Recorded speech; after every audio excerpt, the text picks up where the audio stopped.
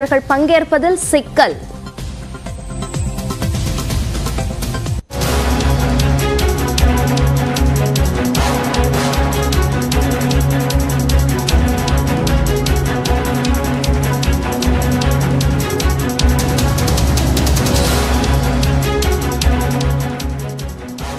கோவை ஈஷா யோகாவில் ஆதியோகி சிலை அமைக்க முன் அனுமதியோ தடையில்லா சான்றோ வாங்கவில்லை என்று தமிழ்நாடு அரசு சென்னை உயர்நீதிமன்றத்தில் விளக்கம் அளித்திருக்கிறது.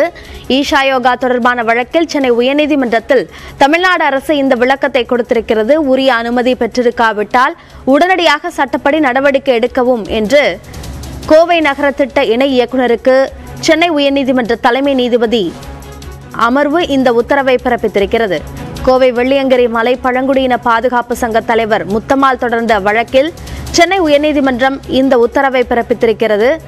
கோவை ஈஷா யோகாவில் ஆதியோகி சிலை மற்றும் அவை அமைந்திருக்கக்கூடிய இடம் சார்ந்த பல்வேறு கருத்துக்கள் தெரிவிக்கப்பட்டிருந்த நிலையில் தற்பொழுது அது குறித்த வழக்கு சென்னை உயர்நீதிமன்றத்தில் விசாரணைக்கு வந்தபோது உரிய அனுமதி பெறப்படவில்லை என்று தமிழ்நாடு அரசு தரப்பில் தெரிவிக்கப்பட்டதன் அடிப்படையில் அனுமதி பெறவில்லை என்றால் சட்டப்படி உரிய நடவடிக்கை எடுங்கள் என்ற உத்தரவை சென்னை உயர்நீதிமன்ற தலைமை நீதிபதி அமர்வு பிறப்பித்திருக்கிறது.